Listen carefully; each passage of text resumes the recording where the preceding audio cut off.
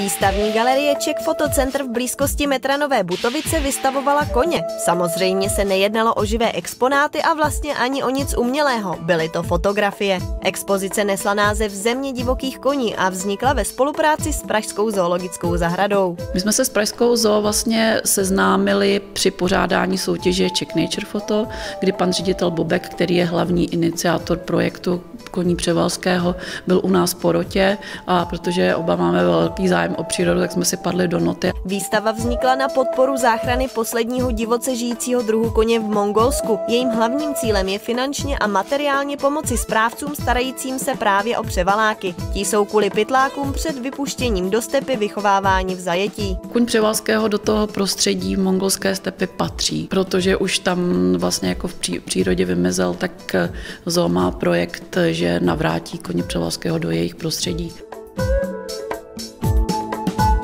Expozice je unikátní ještě několika věcmi. Je možné si fotografii vydražit v e-shopu stránek zoopraha.cz a přispět tím na výstavbu sociálního zázemí hlídačů koní. Každý rok eh, vypouštění koní eh, fotografuje jiný fotograf, eh, proto je zde 12 autorů a vybrané fotografie ty jejich nejlepší z jejich tvorby.